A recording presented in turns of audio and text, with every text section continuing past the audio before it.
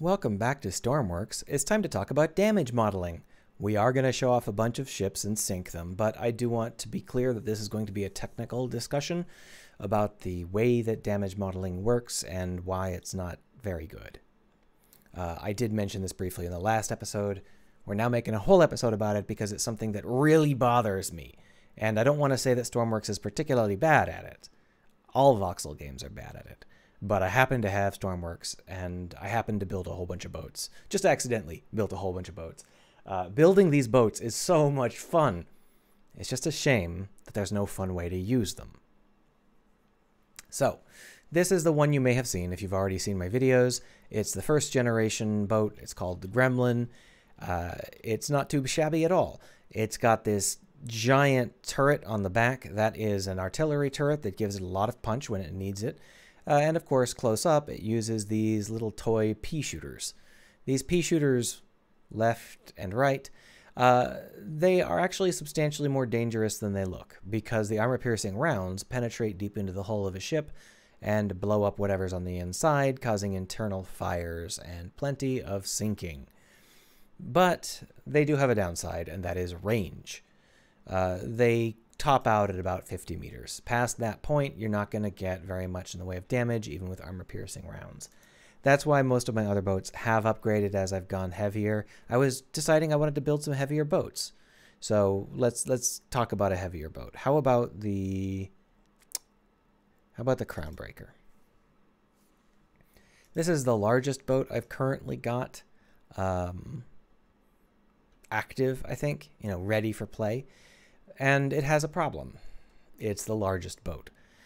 Uh, Stormworks isn't really very well optimized, and if you have a couple of vehicles, things are going to start to slow down, especially if they are large boats.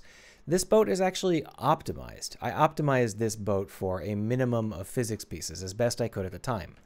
I didn't really understand physics pieces well enough to do it perfectly, but as you can see, the front of the boat is built out of these large wedges, which is not something you get accidentally. This is an optimization that happens when you understand how to optimize your boat, at least some. So that's why the game isn't complaining about a large number of physics objects, because I have figured out how to trick the physics clumping into making even a large boat reasonable. I also removed all ropes. Turns out ropes are the devil and will make your uh, whole simulation run slower, but we're still getting a substantially worse sim speed here. So one of the things you're going to notice is that while the simulation speed is lower, the frame rate is the same. And the same thing happened in Space Engineers for the most part. Uh, the physics ticks start to take longer, which means that you move slower, you turn slower, everything feels like you're on the moon that's not really a great feeling for a battle to have, and you're going to have this feeling anytime you've got ships larger than the Gremlin at play. This ship also rides pretty low in the water.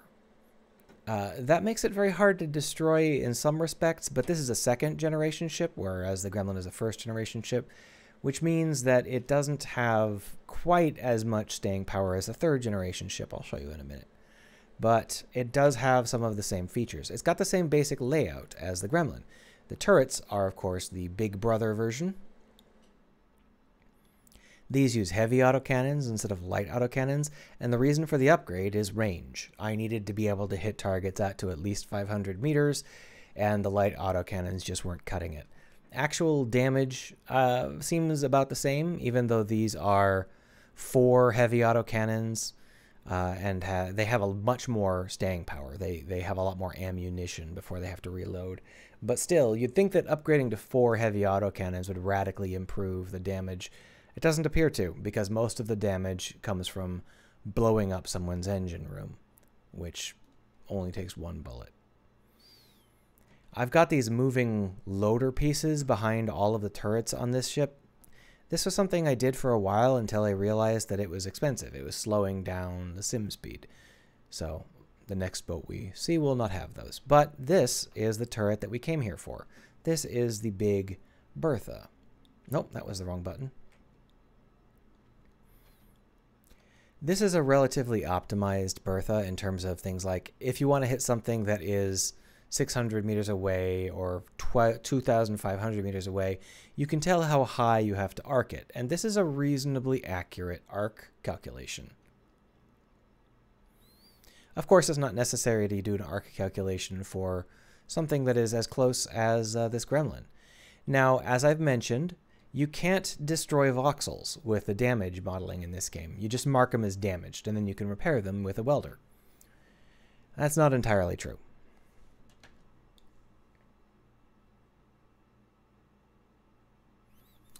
If you destroy the majority of a vehicle's voxels in one frame, the game thinks that it's a missile and has exploded so it removes it from play. Otherwise, you'd have a whole bunch of spent missiles just kind of hanging around.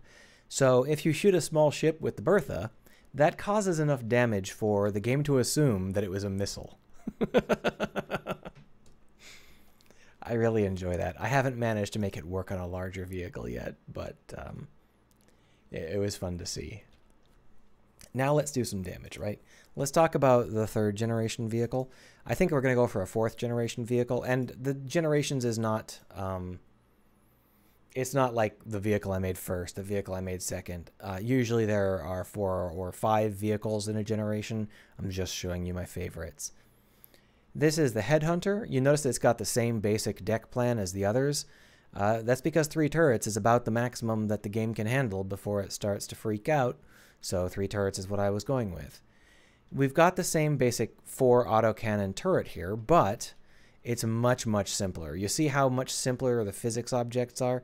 It's not quite as simplified as I'd like it, but it's no, there's no chatter. This is something I hate. I don't know how to tell it to not do this, but there is some heuristic involved where sometimes it doesn't catch on to exactly what it's trying to optimize. Still, this is a pretty optimized boat in terms of not taking up too much of your CPU. It's got a bunch of fun features like this radar. There was a radar in the other one too. The new radar hardware is great. Uh, the radar hardware they introduced with the with the patch, uh, with the DLC, is much much better than the chattery old garbage that we used to have. However, nobody updated their firmware, so all of the workshop examples are still using the old hardware, meaning that they don't work anymore and they're crappy. So I just threw something together, and as you can see, it works fine. This is two radars, one that's panning in front of us and one that's spinning around and around and around. Uh, and that should give you a pretty good radar coverage. And of course, we've got a fully functional GPS. Piloting this thing around is, um, it's got some get up and go.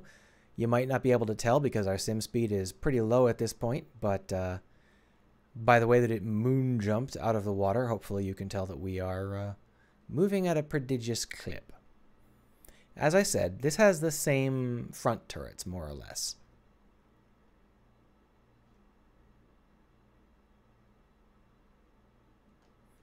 It seems like they're firing slowly. They are not. They're firing at the same speed. It's just that the sim speed is so much lower. The question is, what's going on with the back turret?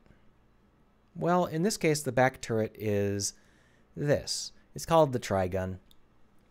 This is a battle cannon turret, and we are just exactly at the range that I allowed it. I should allow it for a little bit more range. There's no reason for it to stop there.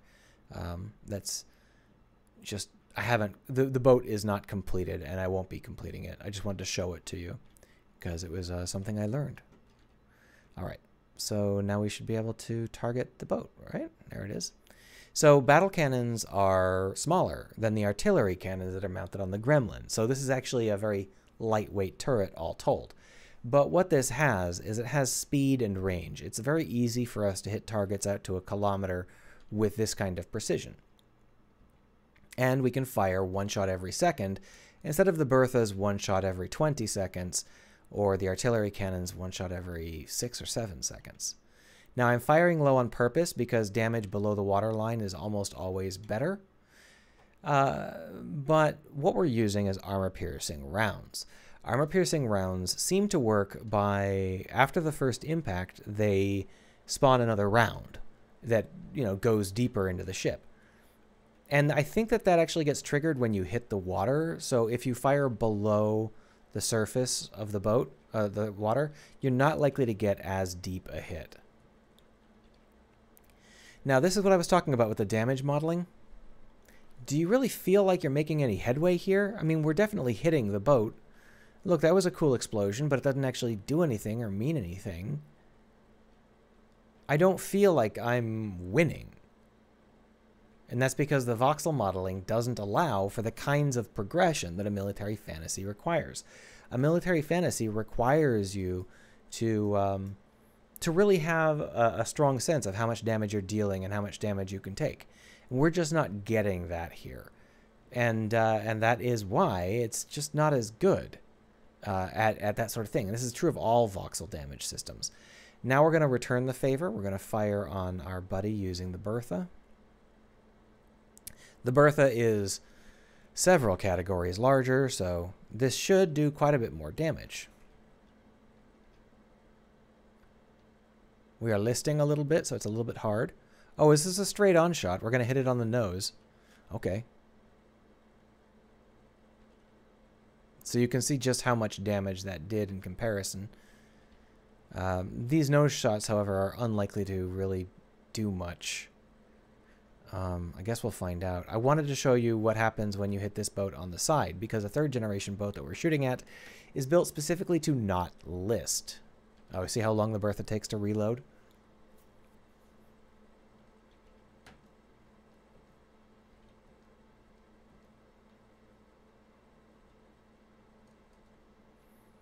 This is a double barrel cannon and it still is like two shots every 30 seconds. There we are. That's going to have to be good enough. Ooh. Caught in the smoke there. So here you can see that we got hit by a couple of Berthas on the front end. The nose of our ship is now pasted. But that's not actually going to do any significant damage. Uh, so Let's talk about damage. As you can see, our other buddy, the one that we were just in, is listing rather badly. Now, we did hit it with a bunch of shots, so that's to be expected, right? Wrong. Or rather, not necessarily. This kind of listing happens uh, on my second generation ships because I didn't put them together in a way to prevent it. There is like a crumple zone here. So if you shoot the side of the ship, there is like a pumping section and a hard wall. Uh, but obviously that's not going to keep up with this kind of damage. It's never going to be keep be able to. It's that's how it's you know built uh, for game balance purposes. However, what that means is that as the port side crumple zone fills up, it lists to port, which makes things worse and worse and worse, and eventually the whole boat will overturn and sink. On the other hand, my third generation boat here well, I mean, we hit it on the nose, so it's not going to list either way. But it wouldn't list even if we hit it on the side, because I don't have port and starboard um, setups. I look like I do. If I were to come down here, go down into the basement and see this. Look, this, it's, uh, it's the front bilge starboard, right? Except it's not the front bilge starboard. It is, in fact, a linked bilge system there is a, a passageway somewhere. One of these places has a passageway built into it. Is it on the front? I can't tell because it's too dark and damaged.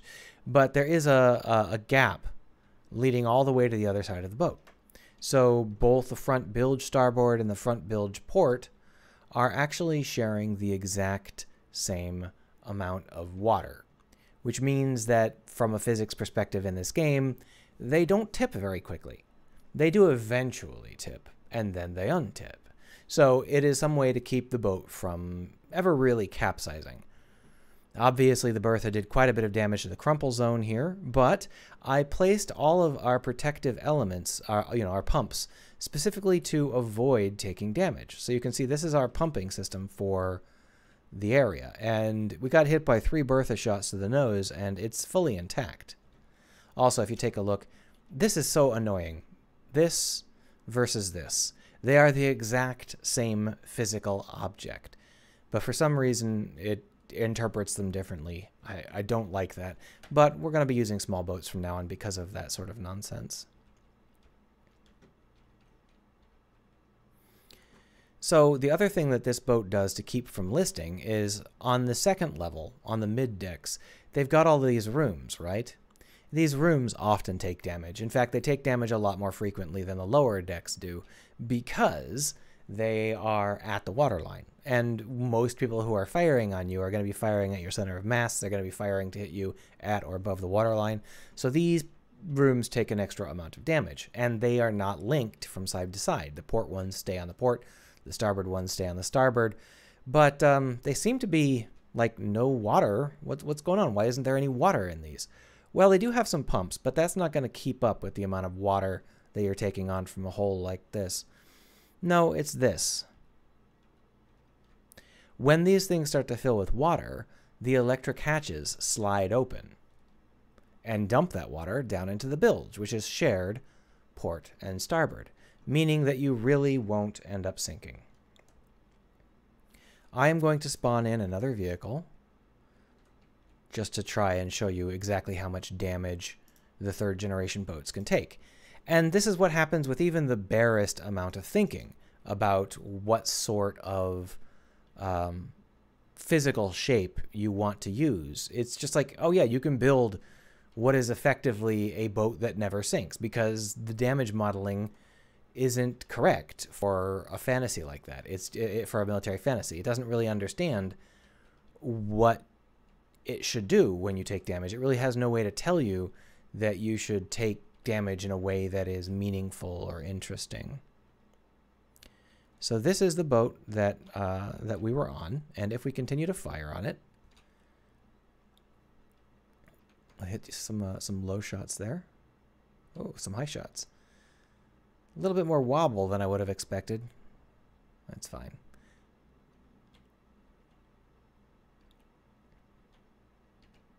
Now we're hitting just below the water line, so this should be miserable. It should sink right away.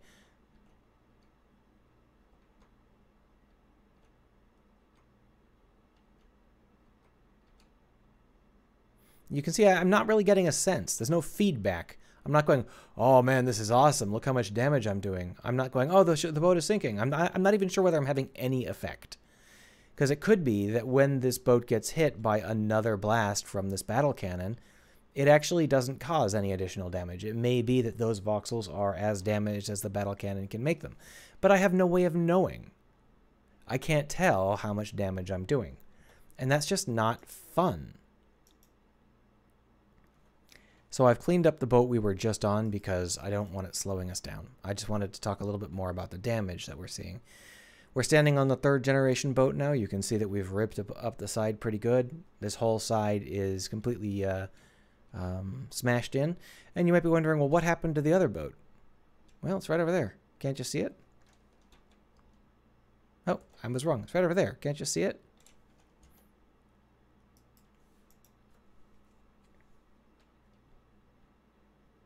It capsized. So it didn't capsize fully, which is a little bit of a shock. But because this boat doesn't prevent itself from capsizing at all, and because it rides low in the water, it tends to sink pretty quickly which is exactly what we've got. Now, it would be moderately fun to go down there and try and like fix up the boat. I might try and make some missions where boats that I build specifically to be fun to go down and dive into are, uh, you know, sunk on purpose. Because I think that there is some fun to be had in going down and, mm, you know, figuring out what you want out of those boats, trying to get them back online, trying to pump out rooms so that you can use welders uh, in, in a room because you can't use a welder when it's flooded. You'd need to use an underwater welder, which might not be possible, or you might not have a scuba suit or something. Uh, maybe you have to power something back on to get the bilges working again. So you've got to run power from your submarine into the boat, but you've got to repair the power conduits first. A lot of cool stuff you could do, and I'm really, really thinking about focusing on that. Did you see that? How it suddenly tipped to the side there? Yeah, that's interesting. I think a wave hit it. Anyway, um, I'm looking forward to that. I think that that might be fun to do. But right now, I'm still addicted to making these boats. These boats are enormous fun to make. They're just not very much fun to play. I saturated this boat. I hit it with Big Bertha shots, I hit it with battle cannon shots, and it's fine. It's tilted slightly because I built it to last. And I'm not saying that to brag. I'm saying that that's a big hole in the way that this game works. I shouldn't be able to build a boat that effectively. And even at this point, I could bring the boat back online. So, you know, like, oh, I want to keep shooting people. So we'll just repair the turret. We'll bring the turret back online so that we can, um, you know, return fire. All of these things can be repaired completely. It's just a matter of targeting all the pieces, and there you go. You're back up. We could even bring the Big Bertha turrets back online if we'd like. And of course, what you're supposed to do is uh, run around. Oh, okay, so we're tipping enough now that we're starting to take on some water there. We'll just close that. What we're supposed to do is run around doing this, which we're now fixing up the damage on the inside of the boat. But you can see how slowly this damage is fixing in comparison. Do you want to know why this damage is so slow? This is Big Bertha damage. Or maybe stacked. Um, I think this is actually probably stacked uh, battle cannon damage. So as the damage level goes up, it takes longer and longer to repair. And the Bertha damage, I actually ran out of juice.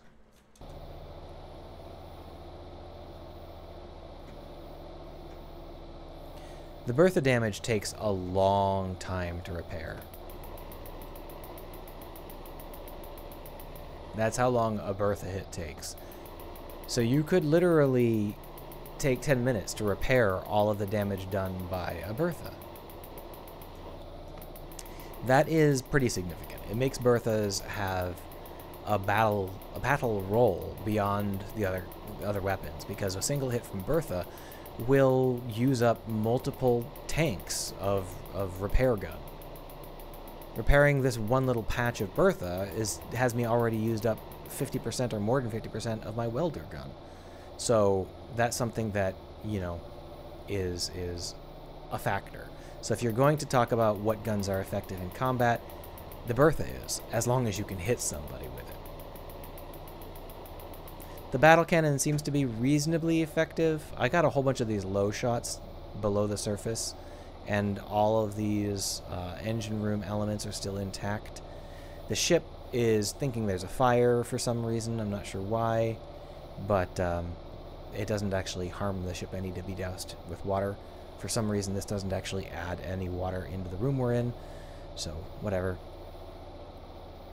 But anyway you cut it, um, now the ship is very slowly starting to list. And I think the reason for that is because these rooms are now full enough that the tip we have is being reinforced. And I think, I think I can actually build a ballast room that automatically has a low center of mass that rights the ship as it gets more flooded. And that's what I'm going to try and do with the fourth generation. But I think I'm going to go for smaller boats. And I'm not sure it matters in a smaller boat. I, these large boats just, you can't actually do anything with them because the frame rate drops. The, the simulation speed drops to nothing. And you can't tell whether you're doing damage or not. And then running around fixing stuff is fun, but not at this level. Not when you have so much damage that fixing stuff is mostly just staring at a wall waiting for a timer to count down. So.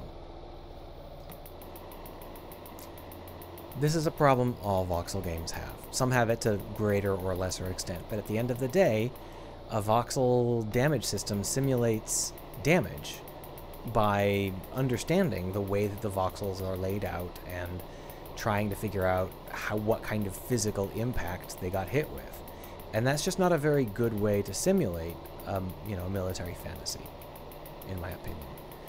It is, however, fun to repair them when they're small, and the damage doesn't take 15 minutes. Finally! Finally, we're sinking! Ah! Finally. There is a limit to how much um, the ballast will prevent it from tipping. But uh, that was pretty good. Worked pretty well. And we're now overturned at the bottom of the ocean. Wouldn't it be fun to try and repair it from here? See if you could lift it back up? Maybe you have a submarine with a tow line or something, and if you can get it back to the surface, you can right it by using your submarine um, to grab the edge with a tow line and flip it or something. Oh, there's so many cool ideas about what you could do to raise a ship after it had sunk. But the ship has to be built specifically to be sunk and then raised. I'm not sure whether I want to do that next or just make another military vehicle. Oh well, either way, it'll be fun. Have a good one.